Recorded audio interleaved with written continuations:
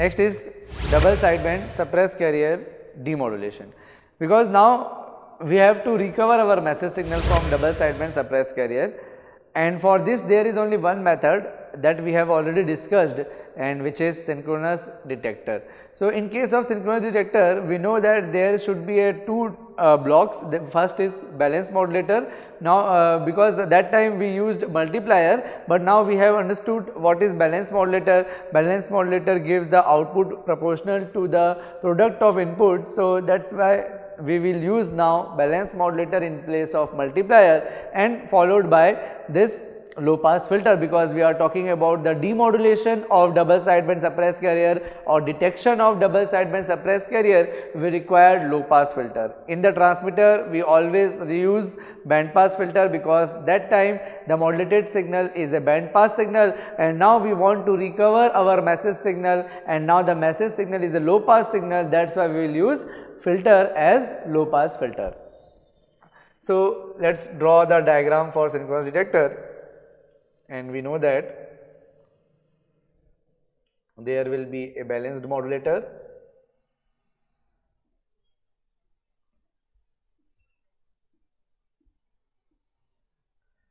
And input to the balanced modulator is locally generated carrier signal because this is a coherent detector or synchronous detector. So, this synchronous detector should have the carrier frequency synchronized with the carrier frequency in the transmitter side. So, in the transmitter we used the carrier frequency AC cos omega CT that is why here also we are using the carrier frequency AC cos omega CT which is generated by local oscillator at the receiver and the input of this balance modulator is double sideband suppressed carrier.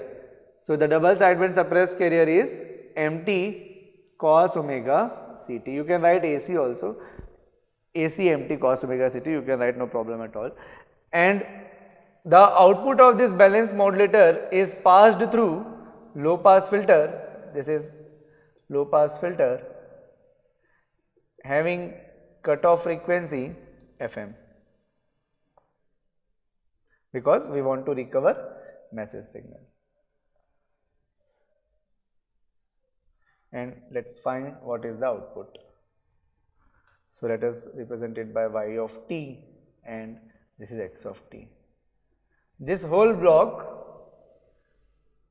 combined with this balance modulator and low pass filter is called synchronous detector. So, suppose you find somewhere in uh, written in the block synchronous detector that means you have to perform two operation first is multiplication and then filter it by low pass filter. So, uh, when synchronous detector is written in some block. Now x of t what will be x of t? So, this x of t is multiplication of these two. So, we get mt AC cos square omega ct multiplication of these two and mt into AC this cos omega uh, cos square omega ct can be written as 1 plus cos 2 omega ct by 2 and when we multiply this we get mt AC by 2 and another term is mt AC cos 2 omega ct by 2 So, there are two terms first is mt which is having frequency FM and second is mt into cos 2 omega ct which is having frequency 2 Fc plus minus FM. So, if we draw the spectrum for positive side only we get this is FM and this is 2 Fc plus minus FM. This is centered at 2 Fc. Because we have placed the low pass filter and this low pass filter is having cutoff frequency FM. This is the low pass filter. Low pass filter is having uh, cutoff frequency FM. So, it will pass the frequency component which is less than FM and there is only one component which is less than FM and this is our first term. This is our first term and this was our second term. So, this first term will pass through the low pass filter and the second term will be rejected by low pass filter. So, at the output of low pass filter we will get y of t here this y of t we will get this term which is mt AC by 2. So, in this way we recovered our message signal. This is having only frequency FM, the MT is directly present. So, now we can say that this synchronous detector can demodulate the double sideband suppressed carrier signal to give message signal back. Now, what will happen if the carrier frequency is not perfectly synchronized? That is, if suppose this carrier frequency is having some phase shift, then what will happen? Okay, so next we will see effect of phase shift, effect of phase shift or you can write drift also in synchronous detector.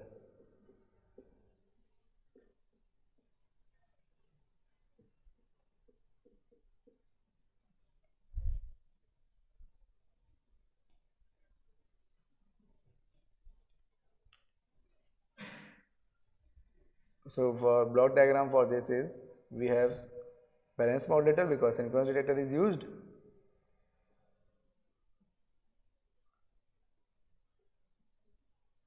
and input to this balance modulator is our double sideband suppressed carrier. So, mt cos omega ct and now this another input which is to the balance modulator is having phase drift that is phase shifted that is uh, uh, it is shifted by some phase uh, with respect to the transmitted carrier or the carrier generated in the transmitted. So, we are having phase shift like cos of omega ct plus theta. There is a phase shift of theta at the transmitter we used carrier signal which is having frequency cos omega ct with phase 0 but at the receiver when we generated it by local oscillator we get the phase shift of theta degree then in this case what will be the output that we have to de determine.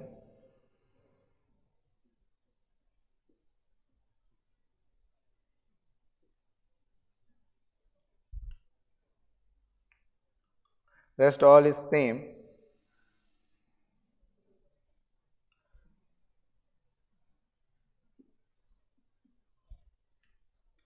Now let us derive it. xt equal to multiplication of these two. So, this is mt cos omega ct into cos omega ct plus theta.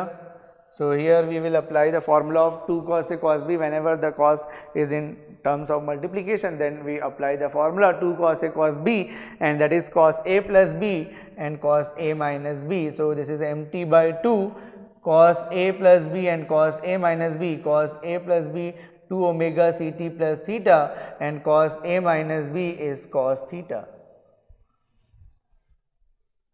Now, this is the term which is centered about 2fc and it is a constant term because theta is a constant. Theta is a phase shift which will be constant. It may be 5 degree, it may be 10 degree, it may be 15 degree. We discussed in one of the questions uh, uh, of AM in which uh, we uh, solve for the phase error of 5 degree and this is also the phase error of theta. So, theta can be anything, it can be 10 degree, 5 degree, 45 degree. So, whatever will, will be the uh, phase shift that phase shift we have to consider and it will give a constant value. So, this constant value will affect only in amplitude of the message signal, it will not change the frequency of signal. So, this mt is multiplied with cos 2 omega ct, so it will shift to 2 fc, but when this mt by 2 is multiplied with cos theta, the frequency will not change and the frequency will be fm only. So, we will get this same spectrum like this uh, one is centered to uh, 2FC and other will be extended up to the FM. So, at the output of low pass filter that is y of t we will get mt cos theta by 2 mt cos theta by 2. So, this is the output. But what will happen when the theta become 90 degree? If theta become 90 degree, then this output y of t will be 0 because cos 90 is 0. So, this effect is called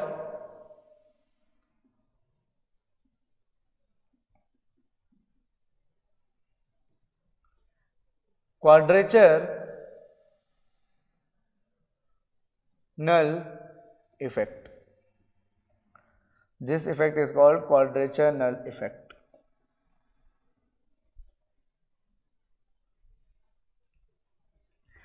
Why we call it as quadrature effect? Because quadrature means uh, the quadrature component of this. So, if you put theta 90 here omega ct plus 90. So, cos 90 plus theta cos 90 plus theta you will get minus sine theta that means minus sine omega ct and the cos omega ct was the original transmitted carrier or the original carrier that is generated at the transmitter but at the receiver locally generated is minus sine omega ct and cos and sine are perpendicular to each other or we also call it as quadrature component of each other. So, the quadrature component of cos is sine and the quadrature component of sine is cos. So, this that is why we named it as quadrature because uh, quadrature of cos is sine. So, here we are getting quadrature effect and null because null because the output is 0. So, that is why its name is quadrature null effect. So, this is the effect of phase shift. So, it may be possible that uh, if you are uh, at the transmitter if you are generating a frequency of carrier is suppose 1 megahertz so, and when we generate at the local oscillator it may be changed by 1.1 kilohertz or 0.1 hertz. That means the frequency can also be changed. If we are considering the effect of phase, then we can also consider the effect of frequency drift because frequency can also be changed. So, in that case what will be the effect?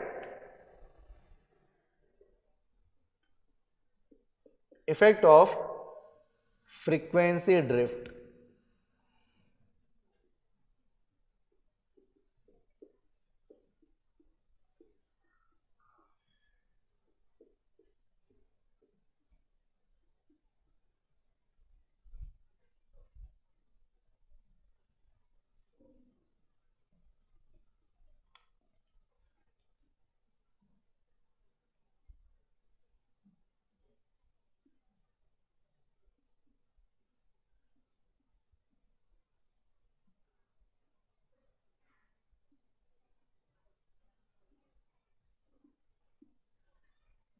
Cos 2 pi fc plus delta ft. The delta f is very small frequency. Suppose it is changed by some small frequency. Then in this case the output of this synchronous detector will be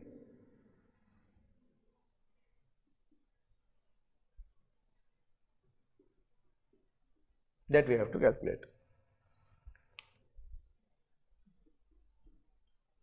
Mt cos omega ct.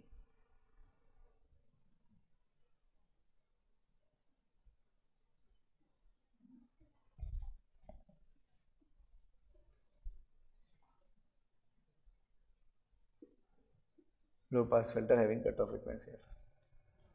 So, in this case when we solve it x of t equal to mt cos omega ct and cos uh, we can also write omega c plus delta omega t. If we multiply this, uh, we can also write in terms of omega because this is also omega and uh, a 2 cos a cos b is cos a plus b that is cos 2 omega c t plus delta omega t and cos a minus b that is cos omega delta omega t this two term we will get.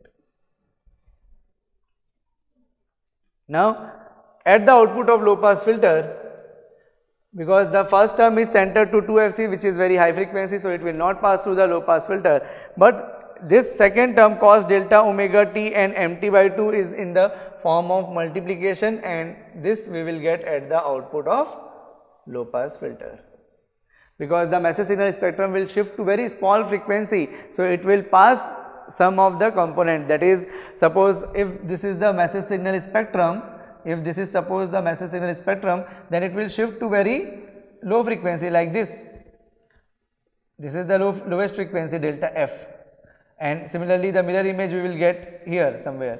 So, it will pass through the low pass filter because it will shift the signal but not to the very high frequency it will remain less than the FM. So, the low pass filter will pass this component and this component message signal MT and cos delta omega t is in the multiplication form. So, the message signal both are in time domain this message signal is multiplying with the cosine signal. So, it is uh, continuously changing because the it is a oscillating signal the amplitude is continuously varying and it is multiplying with the message signal. So, the amplitude of message signal gets also changed. So, we get the distorted output.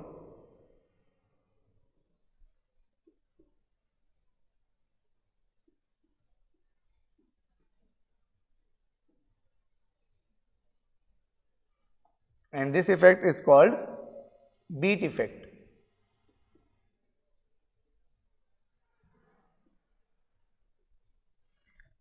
Because of this cosine term the message signal gets distorted and this effect is called beat effect and in this case we cannot recover our message signal. So, in this case also we have some effect and in the second case also we are having some effect. So, to get the message signal back we can uh, we have to synchronize the locally generated carrier with the transmitted carrier then only we can recover our message signal without any distortion or we have to keep the phase error very very very small then also the effect can be negligible. But if there is a big phase error that is of 90 degree then the output will be 0. So, in that case we cannot recover our message signal.